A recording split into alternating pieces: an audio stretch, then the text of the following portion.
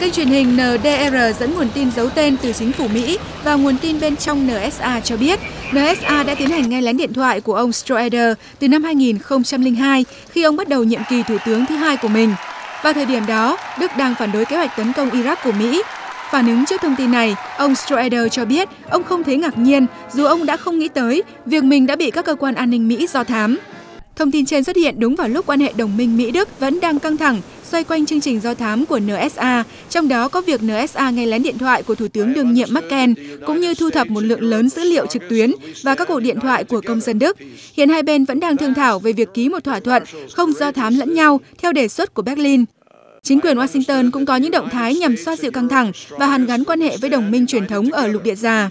Trong chuyến thăm Đức hồi đầu tháng này, Ngoại trưởng Mỹ John Kerry đã thừa nhận quan hệ song phương đang trải qua giai đoạn hết sức khó khăn và hai nước cần khôi phục niềm tin đã mất do vụ bê bối của NSA. Ông cũng bày tỏ tin tưởng quan hệ lâu đời giữa Mỹ và Đức sẽ không thể bị hủy hoại bởi những căng thẳng hiện nay và các lợi ích chung sẽ giúp đưa mối quan hệ giữa hai bên trở lại quỹ đạo.